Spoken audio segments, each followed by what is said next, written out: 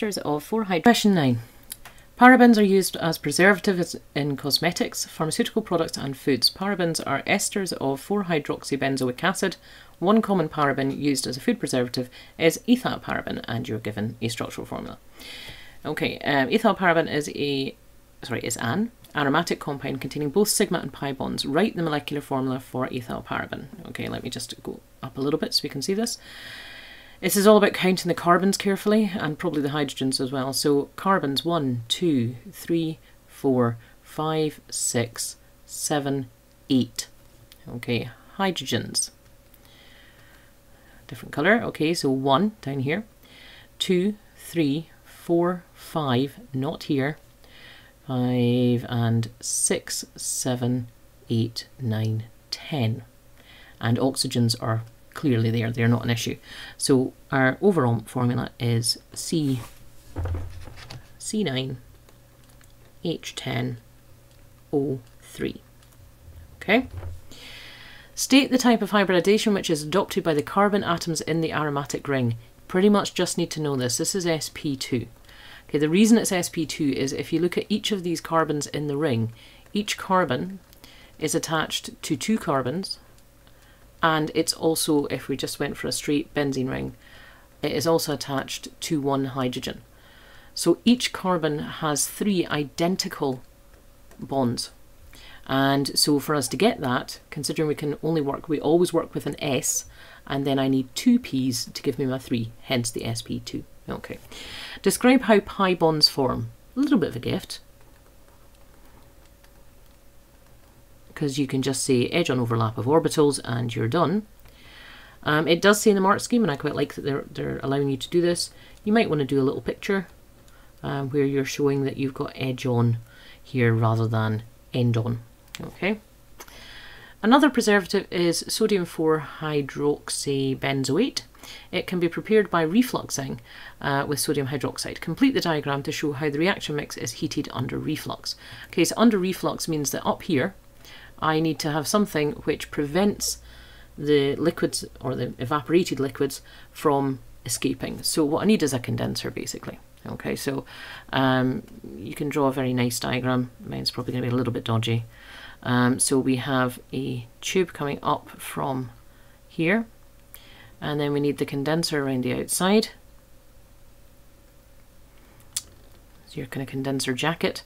Um, anything which you've put on, as long as you label it clearly, you're good. Um, so we've just got condenser here. And then you're fine. So any any gas that comes up here is cooled down and just drops back down as a liquid use a ruler, make it neat. At the start of the reaction, two layers were observed in the reaction mixture. Explain why only one layer was observed when the reaction was complete. Okay, well, you could go with actually what they put last in the in the mark scheme, but I thought was probably the most obvious one. You've got only product left.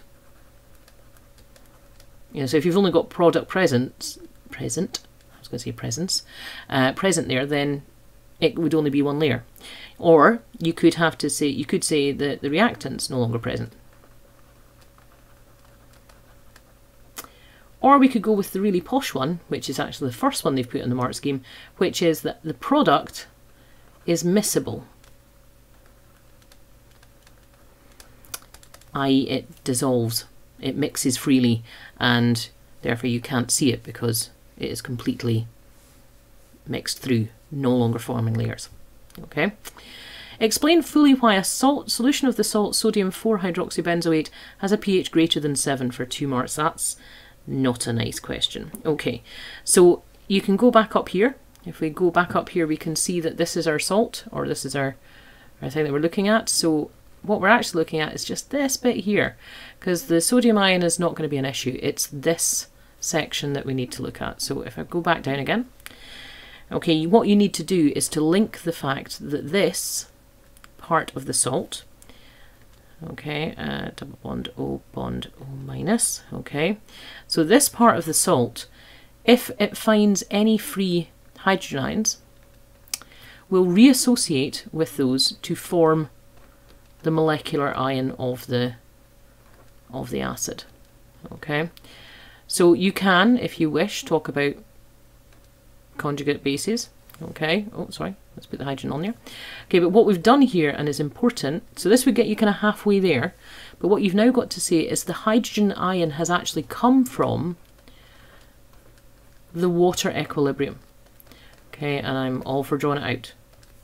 So the water equilibrium, what's happened is you have taken hydrogen ions out of the water equilibrium, which means that the water equilibrium shifts to the right to replace those hydrogen ions.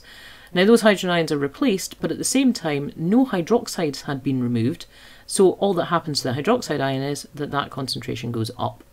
So overall we end up with increased OH relative to H, so we have an alkali greater than 7. It's not the nicest, uh, but I would genuinely try and give the equilibriums as diagrams. It, it makes it so much easier to talk about it.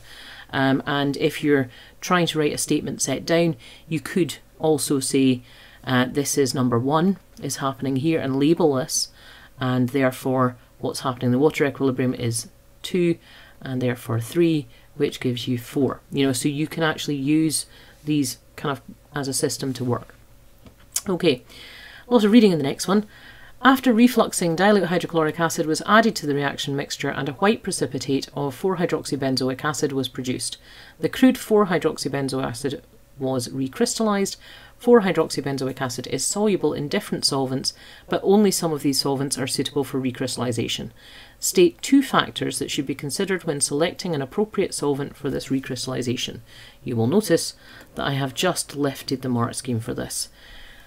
I just don't think there's a better list. Okay, you're just looking for any two of them. So if you're going to use it as a solvent, then obviously um, it has to work as a solution. It has to actually dissolve it.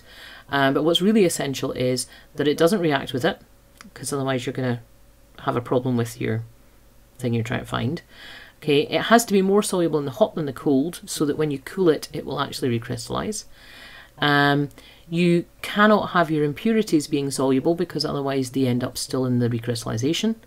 Uh, you might want to consider the boiling point because the boiling point is going to determine how well it works um, and what kit you can use.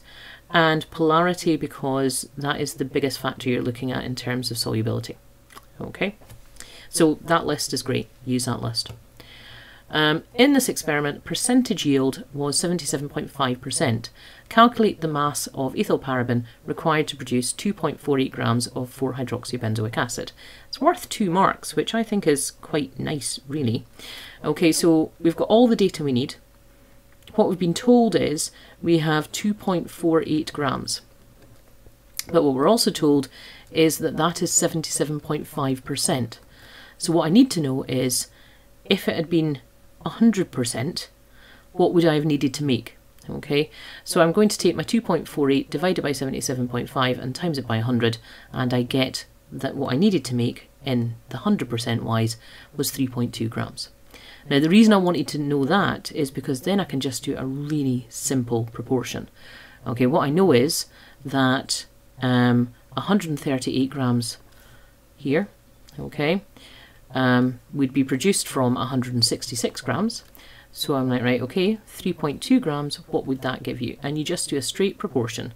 So this one divided by this one times by that one gives me a total of 3.85 grams, two marks, done. I don't think it was that bad. And end of question.